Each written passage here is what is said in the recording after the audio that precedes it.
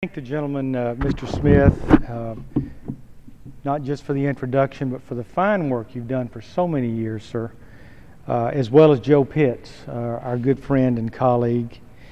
Uh, Mr. Speaker, uh, I speak to you this evening as a physician of over 30 years, a father and a grandfather, and I have delivered myself many hundred babies and have found that uh, that is one of the most important and intimate times in a person's life is taking part of and in some way delivering a baby.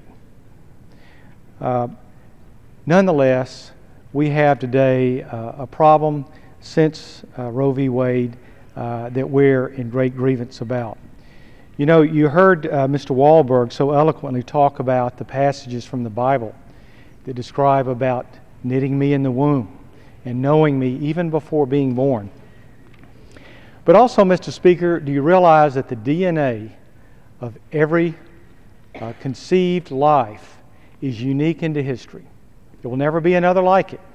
And in my opinion, that's God's opinion that that is a separate and distinct human being and a person upon itself.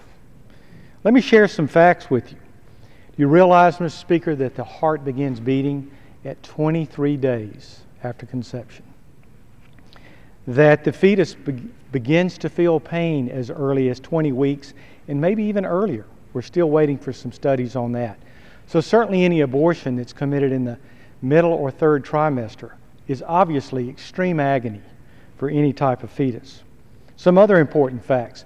While there were approximately 744,000 abortions in 1973, the, the time of Roe v. Wade, that actually peaked in 1990 at 1.6 million.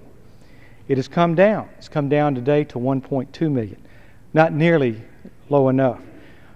Do you realize also, Mr. Speaker, that over $487 million of taxpayer money is used each year to go to Planned Parenthood, which is the biggest, the number one provider of abortions in this country, committing over 320,000 innocent life deaths each year. But there are things we're doing that are effective. You heard me say that we're down from a peak of 1.6 million down to 1.2 million. And what are some of the things that we can do and have done? My home state, Louisiana, uh, which was chosen by uh, uh, AUL to be number one in abortion law, has done the following.